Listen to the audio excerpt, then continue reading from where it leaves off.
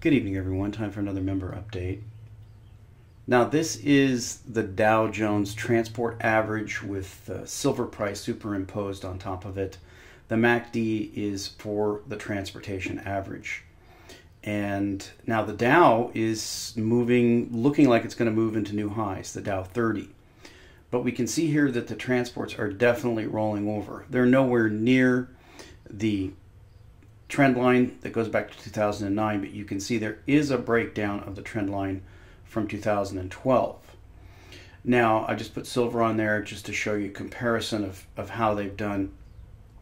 Also, this MACD rolling over and crossing through uh, the zero line, you can see that had not occurred since all the way back in 2011 when we got maybe a mini bear type thing.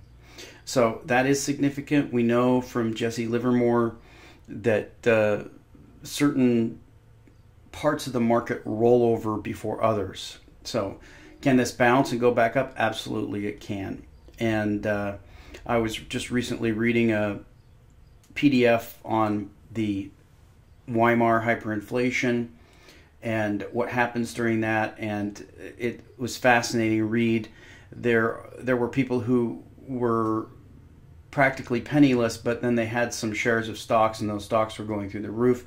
But as the stocks were going through the roof, the currency was crashing so fast that it couldn't even keep up. And we saw the same thing in Zimbabwe. It was the best returning stock market for an entire year, even though the currency ultimately became worthless. So this is interesting. We don't really have any activity with silver today, but it looks like this is going to roll over and go down. Will silver roll over and go down with it, or will silver reverse and uh, go the opposite direction? My guess is the latter, but we can't say for sure. Now, I wanted to continue on with sort of a different topic. We're not going to talk about flat Earth thing because that's kind of talked out, but I did want to talk a little bit about geocentrism, and we're we're also going to look at uh, some scriptures about silver after we do that. But I wanted to introduce this concept of geocentrism. Now, the gentleman that we're going to be looking at his presentation, he, he's not a flat Earth guy. He is a ball Earth guy, and he but he is a geocentrist and it's very interesting because it gives you the history of the evolution of the thought in this area. But before we do that, I want you to look at this is what I would call a summary of the current belief system of the modern world dense state that nearly 14 billion years ago expansion started. Wait, the earth began to cool, the autotrophs began to drool, Neanderthals developed tools, we built a wall. We built the pyramids, math, science, history, unraveling the mystery that all started with a big bang. And you know that show. That's a show that's big hit comedy series that's on TV right now. And it's typical of uh, these are uh, physics students and they're the smartest people in the room and all this stuff and it's just filled with all the lies that you can possibly imagine about what people believe the earth is and the universe is and where it came from and things like that. And it really is ridiculous. Uh, i want to show you the presentation of this gentleman that i came across today and watched it and this is excellent because it gives you, uh, I'm just going to play a little part of it here. You should really watch the whole thing. But it's about the geocentric model, and it goes into the explanation and the history of all these gentlemen that were involved, all the way back from Newton, Kepler, Copernicus, Tycho Brahe, um, Galileo, uh, the Michelson-Morley experiment, Airy's failure, uh, Foucault, all these people, all the scientists who were involved, and believe it or not, there was a tremendous amount of testing, and we know that science is about testing. Uh, science isn't really about theory, that's the realm of philosophy, or as far as just theorizing without proposing any tests. But what we're going to find out here is that there actually are a large number of tests that can be done, and this series especially the first 45 minutes of it, will goes through the history um, starting with uh, pre Renaissance and all the way through to the modern age, including the Hubble telescope, explaining all of the tests that came up uh, as to whether we could verify whether the Earth is spinning around the sun, the sun and the Earth are moving through space, all this stuff that everybody believes is going on right now is actually happening. And believe it or not, you'll see through this that there were a large number of tests that were done, and every single one of those tests came up with a negative. It showed that the Earth is fixed and that the Earth is not moving. And so what happened was there were ad hoc theories proposed to explain why those tests didn't show the Earth moving. And this is actually how we get to Einstein's theory of relativity, which, by the way, he shows that is completely, it's not only false, but it's completely fraudulent. And he shows from Einstein's own documents that it is fraudulent. And the only reason that it was proposed was because of the series of failures. But let's get a little bit of this history and we'll listen to a little bit of it. So the fringe, the fringes they get from their diffraction grating look like that. When they turn it, they should find in the direction the Earth is moving. The fringes come closer together and the difference, the fringe shift is a measure of the speed at which we're moving. The direction for the maximum is the direction we're going, so we can get the direction and the speed. Everybody said, wonderful. Then they did the experiment, and to everybody's surprise, no fringe shift. Everybody shook their heads, walking and going, well, what must be happening is the sun is moving around the universe at just the opposite speed to which the earth is going around the sun. So the two motions have just cancelled out. But in six months' time, the Earth will be in the opposite side of the Sun. Now they'll be moving together, we'll get a nice big fringe shift. So they looked in six months' time. Still no fringe shift. Other people did the experiment. They did it in Germany, they did it in America, they did it on the tops of mountains, they did it all over the place. All times of the day and night, all times of the year, and always fringe shift. It's interesting to see what scientists have said about this. Adolf Baker, for example, failure to observe different speeds of light at different times of the year suggested that the Earth must be at rest. It was therefore the preferred frame for measuring absolute motion in space. Giancoli said, but this implies that the Earth is somehow a preferred object. Only with respect to the Earth would the speed of light be seen as predicted by Maxwell's equations. This is tantamount to assuming that the Earth is the central body of the universe. And Bernard Jaffe said the data were almost unbelievable. There was only one other possible conclusion to draw, that the Earth was at rest. This, of course, was preposterous. So, of course, we have to look for another ad hoc theory. The physicists of the world were looking very hard, and a brilliant Irish physicist called Fitzgerald came up with the germ of an idea. He said, as a body moves through the ether, the pressure of the ether against it makes it squash up It shortens the length.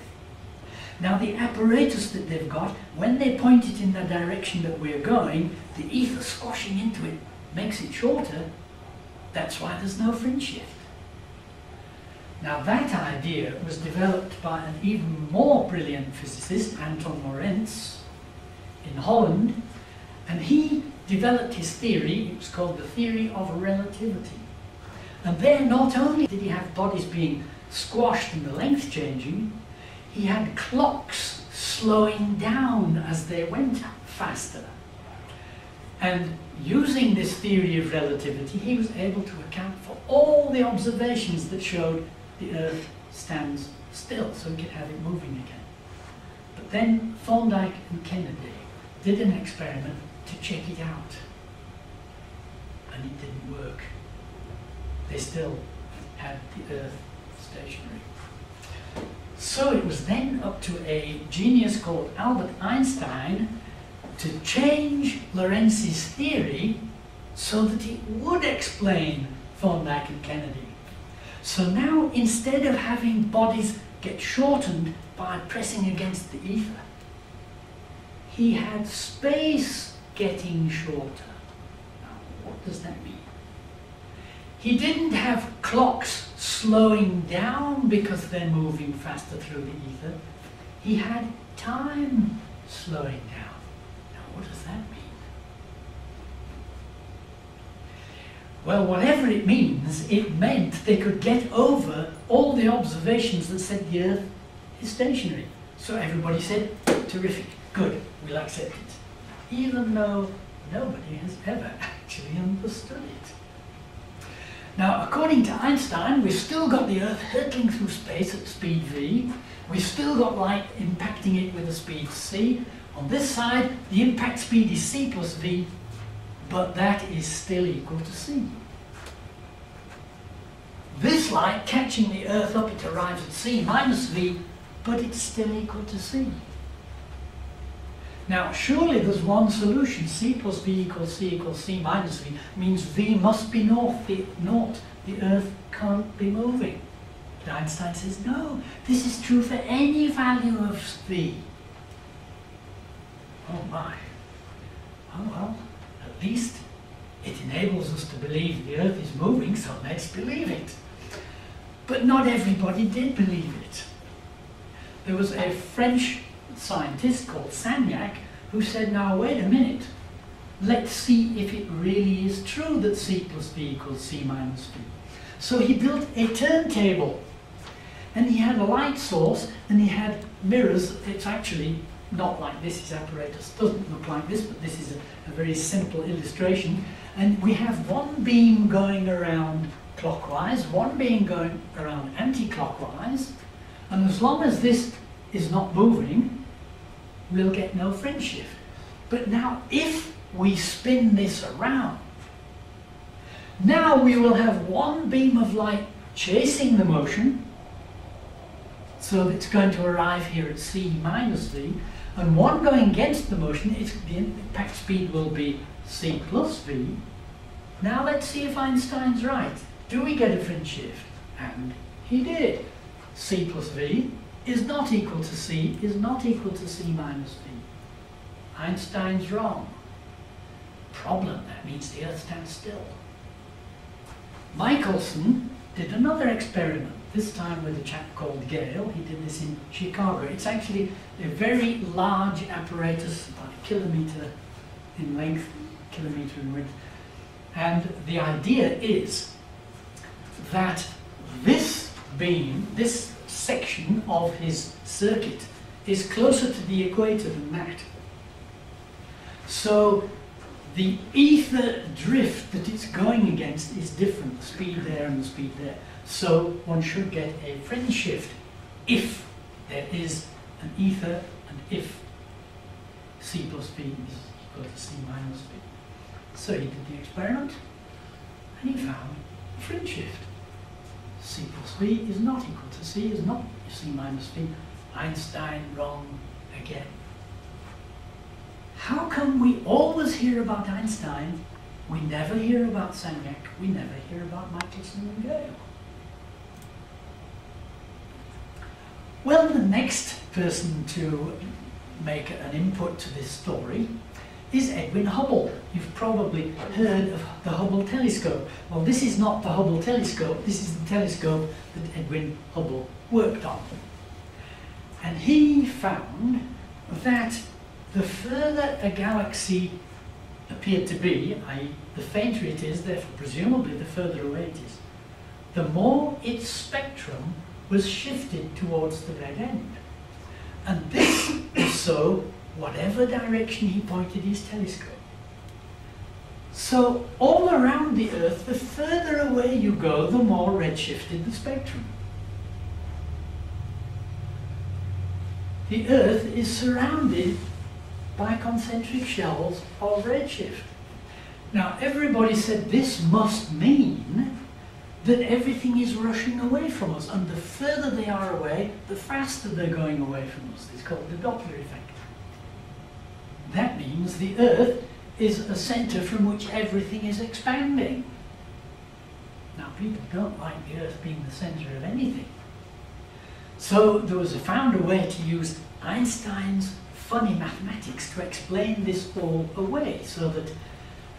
So ah, you, there you go. There is uh, just a brief section of this. It's a very long, two-hour video. Encourage you to watch the entire thing. You can see that what we have today is not science, and these people are not scientists because their theories are all ad hoc theories. Every single test that has been devised to try to prove whether or not the Earth is moving has shown that the Earth is not moving. And that's a large number of experiments. And every single time, what they've done is come up with an ad hoc theory. They've changed their theory to explain away the results of the experiment. That is not science. And that's what we have today. You have the same thing in evolution. Um, no matter what tests they come up with to try to show this would prove it to be true or this would prove it to be false, once that test is uh, administered or the evidence is looked for is not found or is found, then the test is explained away. And that's why we have now the theory of punctuated equilibrium, because Darwin proposed that the fossil record would show transitionary forms, but the fossil record shows absolutely zero transitionary forms. And uh, Darwin said this is an absolute uh, death knell for my theory if the fossil record doesn't support it. But of course, what they did was they proposed the theory of punctuated equilibrium. What they said was that the changes happen in rapid spurts and then they stop happening. So it doesn't get caught by the fossil record. Of course, uh, that goes against their slow change over billions of years and it goes against everything else. Now, another very interesting aspect to this is the fact that he, and he'll explain it in this video, is that Charles Lyell, the original old Earth uh, geologist, who was a predecessor of Darwin, and Darwin's theories were based on Lyell, actually there's a connection between Copernicus, Galileo, Lyell, Darwin, and all of these theories, ultimately Einstein. And of course, we know that these theories rejected the biblical model of the universe. And this is actually, this video is taken from uh, the Flat Earth Controversy by Rob Skiba. I think he's still on the fence, but he gives a tremendous presentation uh, about it. It's very, very good. So you should. I'll link that as well. Um, but the point is, is that this is not science. What they're doing is they're dismissing the results of scientific tests because they don't like the results. And the fact is is that the results actually support what the Bible says literally. What people believed for thousands of years, that's what the science shows is true. Um, but that's unacceptable to them because they don't want to be accountable to a creator. That's the bottom line. That's the only reason people believe in evolution because there is no science behind it. And that's the only reason they believe in heliocentrism because there is no scientific basis for it whatsoever. But the implications of geocentrism being true and creationism being true, they can't abide those implications. And so that's what's behind it all. Now, I wanted to take you to the Bible because that's what is uh, proven by these things and talk a little bit about silver. Now, one of the verses, I did Bible verses on silver before, and uh, this is one I just wanted to point out here. This is one that is about the judgment of Babylon, and it actually gives a listing of the riches that Babylon has. Now, what's very important about this, besides the list of the riches of Babylon is that those riches were generated by trade. Now, that's what we're actually seeing break down in the world economy right now. That's the slowdown that you're seeing when you look at, you know, you see the differences between the different money supply charts and then you look at the Baltic Dry Index or you look at some of those other things that show that trade has collapsed and is, is staying collapsed. Trade is the basis of wealth. And it's a real simple uh, math to do. Obviously, certain parts of the world are best places to grow certain crops. Certain parts of the world are the best place to mine certain things. Uh, certain populations are better to manufacture things, whether that's because of a political reason or depressed wages or slavery or whatever. It doesn't matter. Uh, but what will happen is that if world trade is allowed to flourish, then wealth is the result of that. That's what we see here in this um, verse. Now, I'm going to read the the list of things here. The, these are the the merchandise, the the types of material that are traded that led to the wealth of Babylon, or I should say, in the future, will lead to the wealth. And here they are: gold, silver, precious stones, pearls, fine linen, purple, silk, scarlet Thyine wood, all manner vessels of ivory, all manner vessels of most precious wood, brass, iron, marble, cinnamon odors, ointments, frankincense, wine, oil, flour, wheat, beasts, sheep, horses, chariots, slaves, souls of men. Now, of course, what's interesting here is the most valuable thing is gold. And right there, we have silver is second. Third is precious stones, and then pearls. So here are your precious metals and your gems. Um, precious metals are valued more highly than gems. Now, the other thing that you have to remember here that this list, this is the list of men, how men value things. And you can actually turn this list around and find that uh, that that's actually the opposite of how God values things. So for men, the most valuable things are gold, silver, precious stones, and pearls. Uh, and the least valuable things are horses, chariots, uh, slaves, and souls of men. That does not bode well for the future, that they will be buying and selling the souls of men, but that's what the Bible tells us.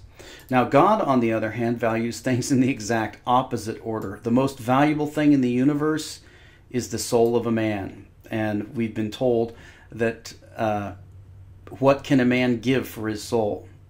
Uh, if he acquired the wealth of the entire world, could he pay the price, the ransom of his own soul? No, he couldn't ransom his own soul with the wealth of the entire world. And then we have slaves. So men are the most valuable thing to God. And then we have animals. So, very, very interesting. We know that this is in the future. We know that silver and gold are very, very valuable uh, silver is right behind gold as far as value. This will be so in the future. We know that because we know what the future is going to be because we're told what it's going to be.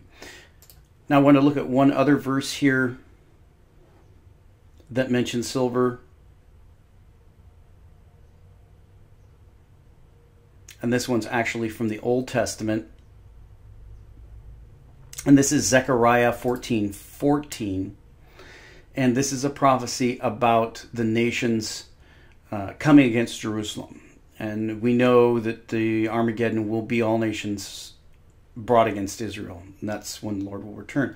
You can see right here it says, And this shall be the plague wherein the Lord will smite all the people that have fought against Jerusalem. Their flesh shall consume away while they stand on their feet. Their eyes shall consume away in their holes. Their tongue shall consume away in their mouth. And uh, so we're talking about Armageddon here.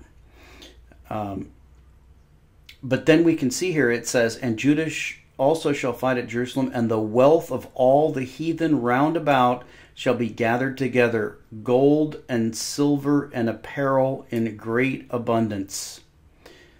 So you can see here that we have a prophecy about the wealth coming to Israel. Now we know in Solomon's time um, that the Bible says that silver was heaped up like the dust. It was accounted nothing in the time of Solomon.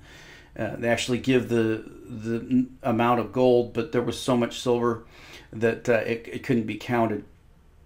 But again, it was second most valuable. Uh, that just simply means that they were so wealthy that uh, silver wasn't really that important. They didn't make their vessels.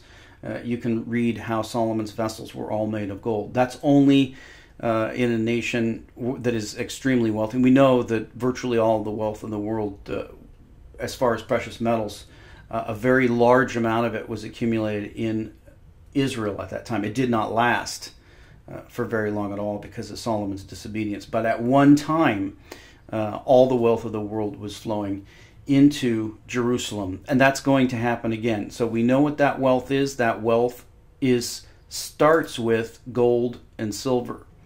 So just as we have a unerring testimony about what the earth is, what its place in the universe is, and what's going to be happening in the future, we also have a witness as to what money is, what wealth is, and what it will be in the future. And it really doesn't matter how many of these pseudoscientists or people coming up with theories, we'll call it science, falsely so called it doesn't really matter what they say. It doesn't change the fact uh, that the scientific tests prove that the Bible is true, and the true Bible says that silver is the second most important asset in the world.